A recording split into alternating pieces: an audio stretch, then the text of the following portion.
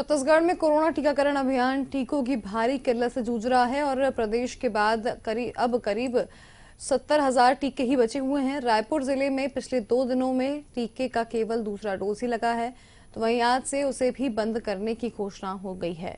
अब टीके की नई खेप मिलने के बाद ही टीकाकरण शुरू हो पाएगा। मुख्यमंत्री भूपेश बघेल ने प्रधानमंत्री नरेंद्र मोदी को पत्र लिखकर जुलाई महीने के लिए एक करोड़ डोज वैक्सीन की मांग की है तो वहीं हालाँकि बाद में करीब ढाई लाख डोज वैक्सीन पहुँची। अब अगली खेप आने तक टीकाकरण बंद रहेगा।